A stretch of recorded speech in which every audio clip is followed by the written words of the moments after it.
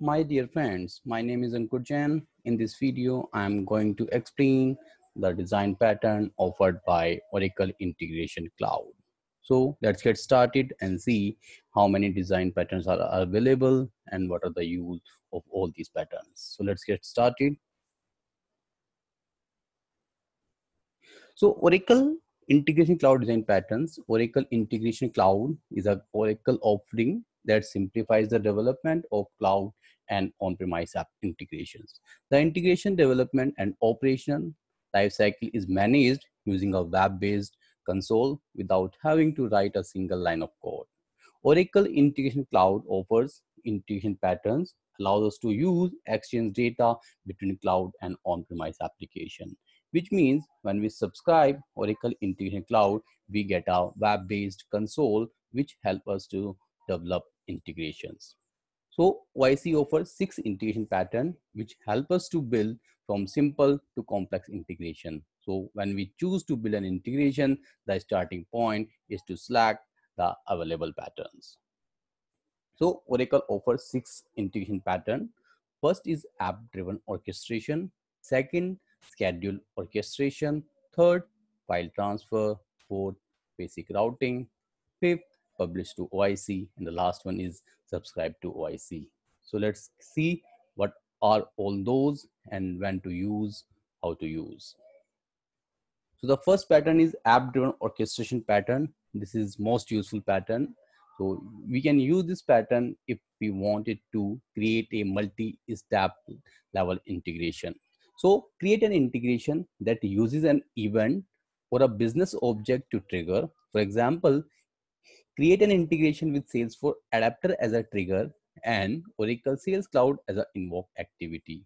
Salesforce sends an outbound messages which triggers an OIC integration. So when you create a very complex integration in which there might be a multiple sources to get the data, we can massage the data, we can do for each looping and after aggregating the data, we can send the data to target application. So in all these scenarios, we can use this app-driven orchestration pattern. So use this pattern when you wanted to create complex integration. In orchestration pattern, we can invoke any available activity as below. Like we can use for each activity to loop over the array element. We can use switch activity for multiple routes we can use scope activity to handle exceptions. We can use ad hoc mapper to add a extra mapper as per our need. So apart from the apart from these, there are lots of activity which can be used in this pattern.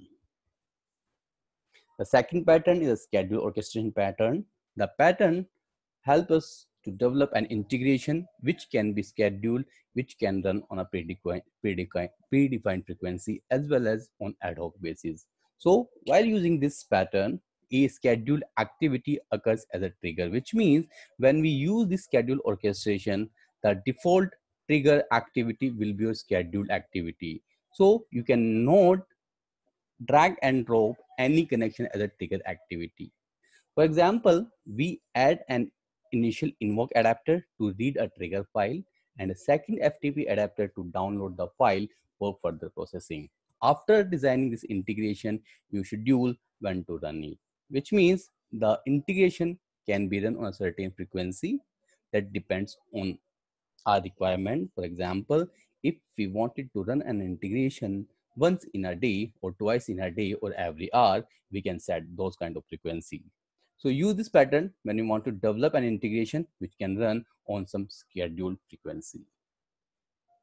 The third pattern is file transfer pattern. This pattern create an integration to move files across network. Once we opt this pattern, a scheduled integration would be created which can run on certain frequency. Again, we can say this is another type of scheduled integration. Use this pattern when you wanted to move files from one SFTP location to another location or we have one FTP and we wanted to read the file from one FTP and transfer the file to downstream application. So this is the case when we use this file transfer design pattern.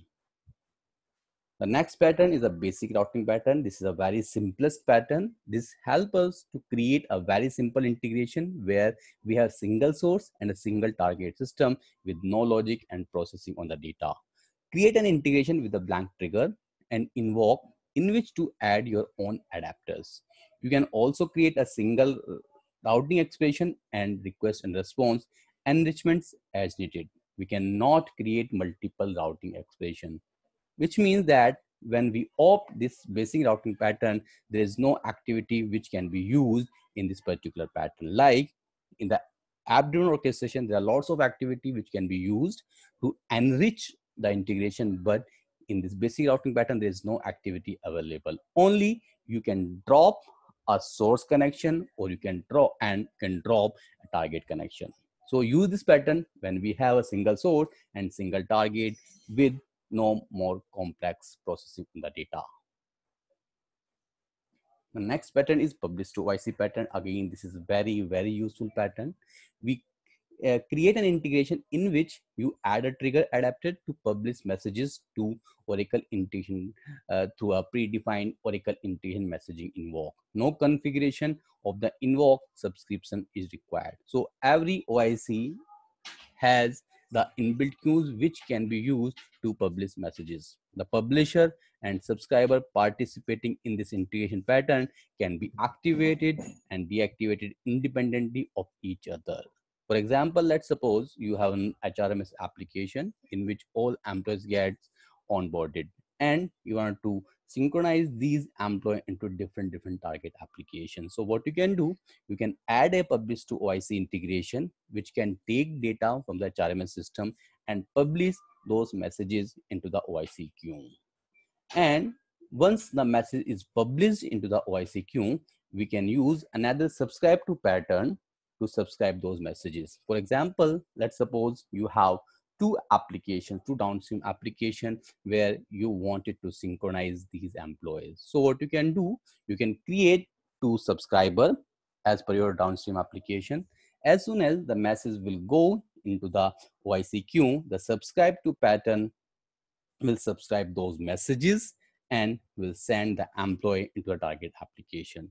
So both publisher and subscriber pattern can be used to publish the message and subscribe to subscribe those messages. So subscribe to pattern is again a very, very helpful, uh, very uh, good design pattern offered by Oracle. So create an integration in which you add an invoke adapter to subscribe to messages from Oracle integration through an Oracle integration messaging trigger.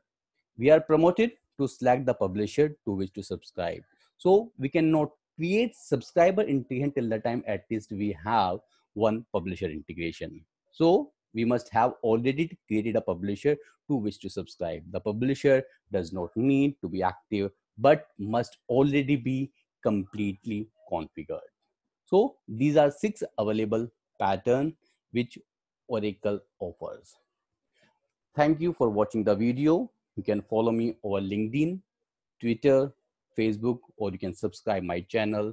Also, you can have a look on my blog, which is accessible over https colon slash slash www.techsupper.com. Thank you. Bye.